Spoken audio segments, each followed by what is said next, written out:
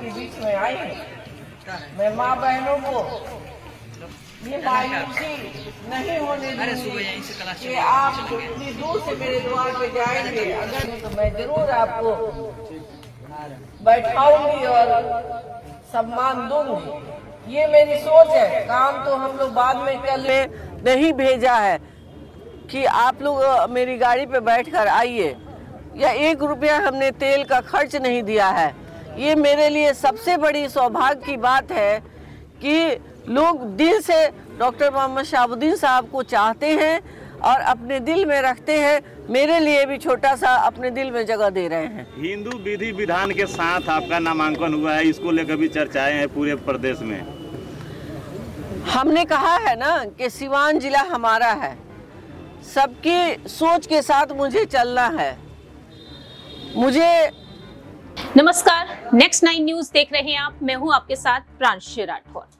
बिहार की सीवान लोकसभा सीट एक hot seat बन चुकी है, जहाँ से लंबे वक्त तक चुनाव लड़ते हुए नज़र आए राजद के टिकट पर शहाबुद्दीन। लेकिन अब शहाबुद्दीन के गुजर जाने के बाद उनकी पत्नी हिना शाहब लगातार मैदान में है। देखा गया है कि राजद के टिकट पर वह कई बार चुनाव लड़ती हुई नज़र आती हैं, लेकिन बाद में हिना शाहब हार का सामना करती हुई देखी जाती हैं। लेकिन इस बार राजद पर उन्होंने आरोप भी लगा दिए। साफ़ तौर पर कहना रहा कि राजद की तरफ़ से उन्हें दरकिनार किया गया और अब वह निर्दलीय चुनाव लड़ेंगी। ऐसे में हिना शाहब को कई दिग्गज नेताओं का समर्थन मिल रहा है। पूर्णिया सीट से चुनाव लड़ने वाले निर्दलीय के तौर पर पप्पू यादव ने उन्हें समर्थन दिया है।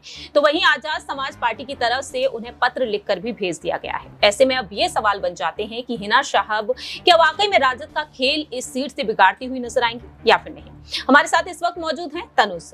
तनुज जिस तरह से हम देख रहे हैं कि सीवान सीट पर 25 मई को जो चुनाव होने जा रहे हैं इससे पहले हिना शाहब लगातार राजद को चुनौती दे रही हैं। तो क्या राजद का खेल वाकई में बिगड़ता हुआ नज़र आ सकता है? जिस तरह से हिना शाहब यहाँ पर बात रखती हुई नज़र आ रही कहना उनका साफ़ तौर पर रहा है कि मुझे दरकिनार किया गया। और दूसरी ही तरफ़ लालू यादव तेजस्वी यादव ने अपने उम्मीदवार को भी उतार दिया। विधानसभा के जो पूर्व अध्यक्ष हैं अवध बिहारी चौधरी वो इस सीट से चुनाव लड़ रहे हैं। और दूसरी ही तरफ़ बीजेपी की तरफ़ से विजय लक्ष्मी कुशवाहा है। कैसे देख रहे हैं आप?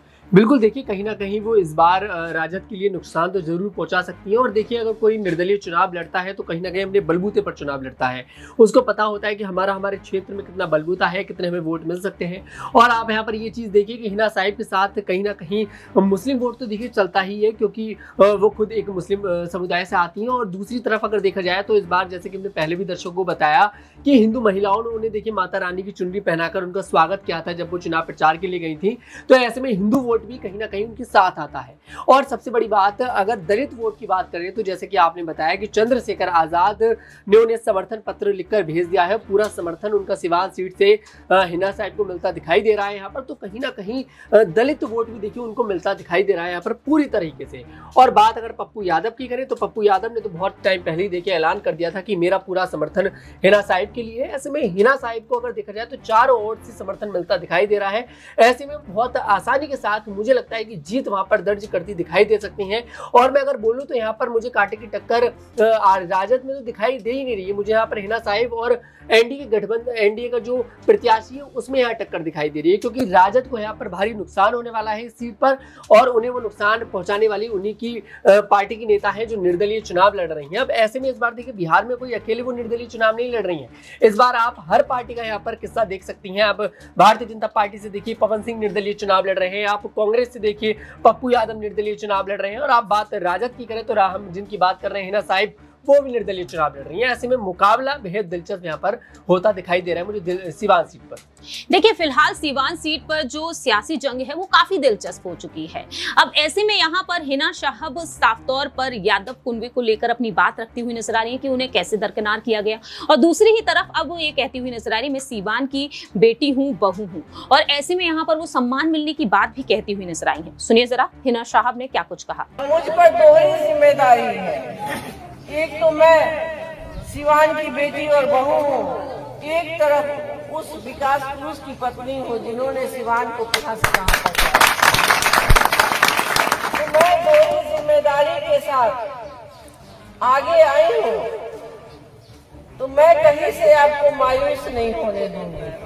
मैं जो भी सच्चे और अच्छे काम होंगे, उसके लिए मैं हमेशा आपके सहयोगी के रूप में कदम से कदम मिलाकर चलूँगी। इसी सोच के साथ मैं आप सबके बीच में आई हूँ। मैं माँ बहनों को ये मायूसी नहीं होने कि आप इतनी दूर से मेरे द्वार पे जाएँगे। अगर तो मैं ज़रूर आपको बैठाऊँगी और सम्मान दूँगी। ये मेरी सोच है। काम तो हम लोग बाद में कर लेंगे। सबसे पहले आदमी को होता है सम्मान। सम्मान ही के साथ हर कोई जीना चाहता है सम्मान के साथ रहना चाहता है। इसी सिद्धांत के साथ हमारा विचार है हमारे परिवार का। उसी विचार को मैं आगे लेकर चलूँगी। आप सभी का बहुत बहुत धन्यवाद। बहुत बहुत धन्यवाद क्या कुछ कहिएगा सिवान के लोगों से आज? आ- आप लोग को जानना चाहिए कि डॉक्टर मोहम्मद शाहबुद्दीन साहब विकास पुरुष थे। और उनकी पुण्यतिथि नहीं है। ये उनकी जो शुरुआत थी सिवान जिला की भलाई के लिए, वो आज ही से शुरू हो रही है। मैंने कल एक कड़ी जोड़ा है और आज से मैं दूसरी कड़ी, तीसरी कड़ी जोड़ती जाऊँगी। यही उनके लिए सच्ची श्रद्धांजलि होगी। मैडम, आपके नामांकन की चर्चाएँ पूरे प्रदेश में की जा रही है आपने साधारण तरीका से इस पर नामांकन किया है। जबकि इसके पहले बार आपने रिकॉर्ड मत भीड़ जुटाती थी अपने नामांकन में। जुटाते नहीं थे। लोगों को मिल जा लोगों को मौका दिया जाता था, लोगों को बता दिया जाता था कि फला दिन का मेरा नामांकन है। पूरे ज़िले से लोग इकट्ठे हो जाते थे। आज तक हम लोगों ने एक गाड़ी भी किसी भी प्रखंड में, किसी भी गाँव में नहीं भेजा है। कि आप लोग मेरी गाड़ी पे बैठकर आइए। या एक रुपया हमने तेल का खर्च नहीं दिया है। ये मेरे लिए सबसे बड़ी सौभाग्य की बात है कि लोग दिल से डॉक्टर मोहम्मद शाहबुद्दीन साहब को चाहते हैं और अपने दिल में रखते हैं। मेरे लिए भी छोटा सा अपने दिल में जगह दे रहे हैं। हिंदू विधि विधान के साथ आपका नामांकन हुआ है इसको लेकर भी चर्चाएँ हैं पूरे प्रदेश में। हमने कहा है ना कि सिवान जिला हमारा है। सबकी सोच के साथ मुझे चलना है। मुझे कोई विधि विधान नहीं था। लोगों का प्रेम था, स्नेह था, कि लोगों का अरमान था कि हमारे द्वार पे एक हाथी आए। हालाँकि लोग बड़े बड़े हाथी, घोड़ा और ऊँट के साथ जुलूस निकाल कर नामांकन करते हैं। वो तो मेरे दरवाजे पे ये आई तो मान लिए कि वो भी तो मेरी मेहमान था ना? तो मेहमान को तो मैं मिठाई और फल खिलाऊँगी ना। आशीर्वाद मिला मैडम। बिल्कुल बिल्कुल। सभी का आशीर्वाद है सभी की दुआएँ हैं सभी की प्यार व खलूस के साथ हम आगे बढ़ रहे हैं। कल एक खास तस्वीर देखने को मिली। लगभग 20 से 25 या 30 की संख्या में जो लोग पहुँचे थे सब के सब तिलकधारी थे। कल मंगल था। सभी लोग अपने मज़हब के हिसाब से पूजा अर्चना करके निकले थे। सब लोग मेरे लिए कर रहे हैं आप मस्जिद में कर रहे हैं वो लोग मंदिर में कर रहे हैं तो मेरे लिए तो सम्मान की बात है ना? आप सबके लिए भी सम्मान की बात हो रही है कि ये सिवान हमारा एक हो रहा है। और सिवान हमारा परिवार जिस दिन एक हो जाएगा उस दिन सिवान को आगे बढ़ने से कोई नहीं रोक सकता है। मतलब विकास लंबे समय से रुका हुआ है फिर एक बार पुकार रहा है कि एक बार फिर सिवान विकास की ओर बढ़े क्या कहेंगे? देखिए डॉक्टर मोहम्मद शाहबुद्दीन साहब जो आपके पूर्व सांसद रहे हैं आज हम लोग के बीच में नहीं है, लेकिन उनकी विचार, उनकी सोच आप सबके बीच में है। और सब लोग वक्त पे ये बात कहते रहते हैं कि विकास रुकी है, विकास रुकी है। मैं कहती हूँ नहीं, जो लोग भी आए, वो अपने तरीके से जो भी काम किए, बहुत अच्छा किए हैं। मुझे मौका मिलेगा तो मैं भी उस काम में मैं जोड़ना चाहूँगी अपने आप को समर्पित के लिए मैं निकली हूँ सिवान जिला के लिए मैं समर्पित करके आगे बढ़ूँगी। मैंने कहा मैंने अपनी बातों में रखा कि इस्लामिया नगर के लोग पहले अपने रास्ते को सही करें फिर उसके बाद अपने घर के अंदर की साज सजावट करें। मैडम साहब का पुण्यतिथि है और आपने बड़ा बयान दे दिया है कि राजा जब साहब का नहीं हुआ तो आम लोगों का कैसे हो सकता है? जायज़ सी बात है। साहब को श्रद्धांजलि देने एक बंदा भी नहीं आता है पटना से चलकर सिवान। और कहते हैं कि वो हमारे सांसद थे वो फाउंडर मेंबर थे। तो आज उनकी श्रद्धांजलि है इसलिए मैं बोल रही हूँ कि कार्यालय में भी तो नहीं मनाया जाता। पार्टी कार्यालय में भी नहीं मनाई जाती है और उनका फ़ोटो यूज़ किया जाता है। तो मैं यही कहती हूँ कि आज तो हर पूरे बिहार में उनकी श्रद्धांजलि दिवस तृतीय मनाई जानी चाहिए थी तो क्यों नहीं मनाई जाती है? यानी अपनापन का ढोंग चल रही ढोंग रच रही है। अब ये आप लोग ज़्यादा बेहतर समझते हैं। सिवान लोकसभा सीट से अवध बिहारी चौधरी लड़ रहे हैं चुनाव उनके बैनर पोस्टर पे पूर्व सांसद का तस्वीर नज़र आ रहा है।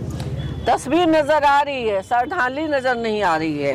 अब यहाँ पर सवाल ये भी बन जाते हैं, तनुष, जिस तरह से हिना साहब अपनी बात रखती हुई नज़र आई हैं और इस बीच यहाँ पर चंद्रशेखर आज़ाद का जो उन्हें साथ मिला है, आखिरकार चंद्रशेखर आज़ाद को भी यहाँ से फ़ायदा होता हुआ नज़र आएगा। 19 फ़ीसदी वोट बैंक, बिहार में दलित वोट बैंक है और ऐसे में मुस्लिम वोट बैंक को साधने के प्रयास में भी चंद्रशेखर आज़ाद है। चाहे यहाँ पर बात कर ली जाए, अगर पप्पू यादव के बारे में, पप्पू यादव भी हिना साहब के समर्थन में है, पप्पू यादव के ज़रिए भी वह वोट बैंक साधते हुए नज़र आ रहे हैं। पूर्णिया सीट पर जो उन्होंने समर्थन दिया लेकिन बात यहाँ पर हिना साहब को लेकर कर ली जाए। सीवान क्षेत्र में क्या चंद्रशेखर आज़ाद भी राजद के उस वोट बैंक को साधते हुए देखे जा सकते हैं? जी बिल्कुल। कहीं ना कहीं देखिए चंद्रशेखर आज़ाद जो है वो एक तीर जो है निशाने पर छोड़ने की कोशिश कर रहे हैं। पहले पप्पू यादव को उन्होंने पकड़ा और पप्पू यादव के ज़रिए बिहार में एंट्री करने की कोशिश करी। और अब देखिए हिना साहिब को समर्थन देना तो ये साफ़ तौर पर ज़ाहिर करता है कि चंद्रशेखर आज़ाद जो है वो एक बड़ी तैयारी में यहाँ पर दिखाई दे रहे हैं। वो तैयारी कर रहे हैं बिहार में जो अगले साल मतलब कि 2025 में जो चुनाव होने वाले हैं, विधानसभा चुनाव, उसकी तैयारी यहाँ पर चंद्रशेखर आज़ाद करते दिखाई दे रहे हैं। और जैसे कि आपने बताया कि बिहार में दलित वोट साधने का काम चंद्रशेखर आज़ाद करते हैं और दलित जो है वो आसानी से कहीं ना कहीं चंद्रशेखर आज़ाद पर देखिए भरोसा कर लेते हैं। क्योंकि चंद्रशेखर आज़ाद ने हमेशा देखिए दलितों के हित की बात करिए चाहे आप यूपी में देख लीजिए, चाहे आप राजस्थान में गए राजस्थान में देखिए, अब बिहार में पहुँचे हैं, बिहार में वो यही काम करते नज़र आए। अब ये देखना दिलचस्प होगा कि आखिरकार चंद्रशेखर आज़ाद उनके समर्थन में वहाँ पहुँचते हैं नहीं पहुँचते हैं मतलब हालाँकि पत्र लिखकर तो देखिए समर्थन दे ही दिया है लेकिन अगर वहाँ जाकर एक रैली करते हैं कोई रोड शो करते हैं तो कहीं ना कहीं और ज़्यादा प्यार वहाँ पर वो बटोर सकते हैं। और खैर अभी तो नहीं 2024 में तो मैं नहीं कह सकता लेकिन आप 2024 के बाद जब तैयारी विधानसभा चुनाव की होगी तब आप ज़रूर देखिएगा कि चंद्रशेखर आज़ाद का बिहार का दौरा भी होगा और पप्पू यादव के साथ भी होगा हिना साहिब के साथ भी होगा। कारण सिर्फ़ यही है कि बिहार के अंदर किसी तरह से एंट्री करनी है और बिहार के अंदर एंट्री तभी करी जा सकती है जब आप वहाँ के मज़बूत नेताओं को पकड़ोगे और मज़बूत नेता तभी पकड़े जा सकते हैं जो निर्दलीय चुनाव लड़ रहे हैं, जो अपनी पार्टी से थोड़े से नाराज़ हैं।